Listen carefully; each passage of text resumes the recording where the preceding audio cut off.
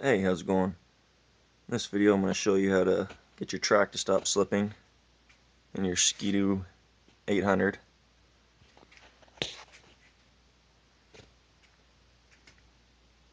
So if you've modified this at all, changed your battery or even ran good AA batteries in it, you'll notice that this track just wants to slip like crazy.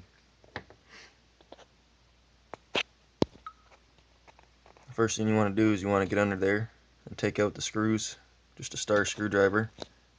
There'll be one on the bottom, around here, two on this side, two on that side, two right here, and two right there.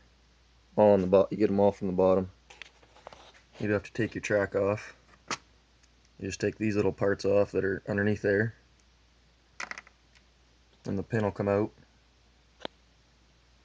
And uh, you can take it all out.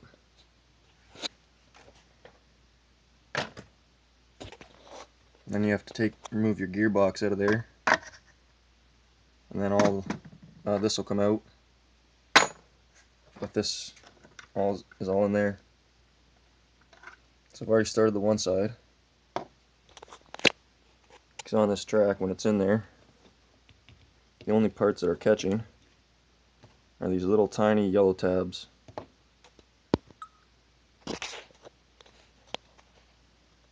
Seem a little better there. The middle part's actually not doing anything at all.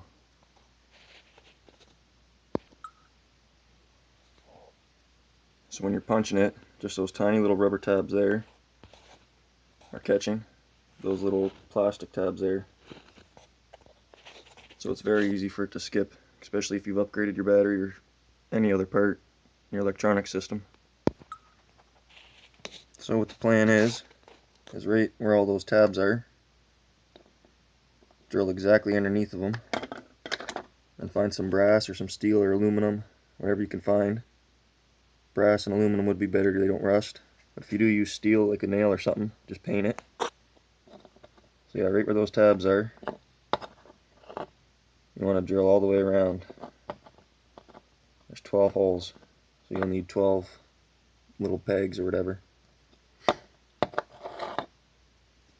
I'm just using uh, some brass stock from the hobby store.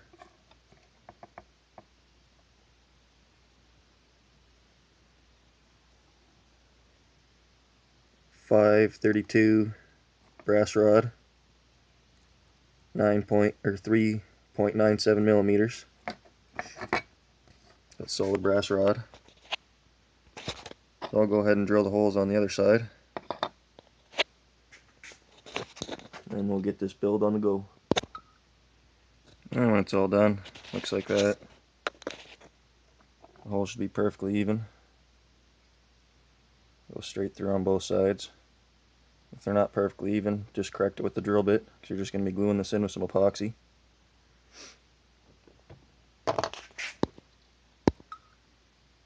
Just start putting them in all the way around, checking to make sure that they're straight. Okay, once you got them all in there, even on both sides, just for the weight, make sure they're all perfectly even.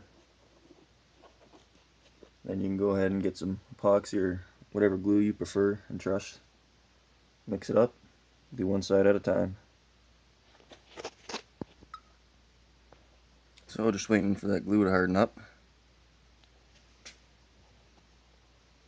Make sure you don't uh, any, on that. I got some on there. I'm going to have to wipe it off quickly. While I'm waiting for that glue to dry, I'll go over a couple things.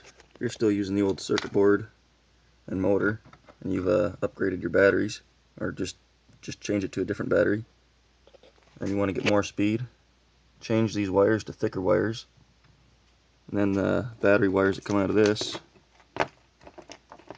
unsolder these two, and just put a thicker wire on again to your battery. That'll give you a little bit more speed and a little bit more power with the stock motor and the stock circuit board setup.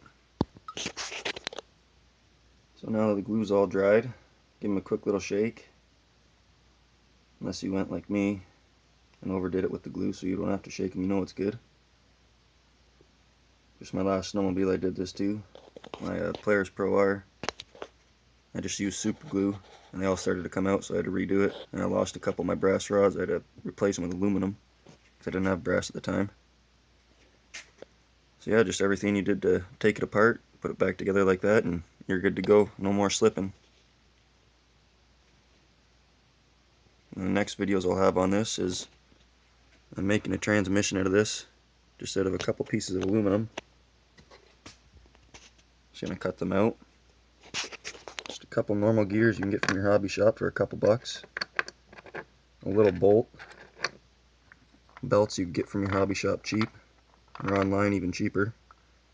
And then these little gears you get offline too. Be putting a servo in it ESC just to replace this.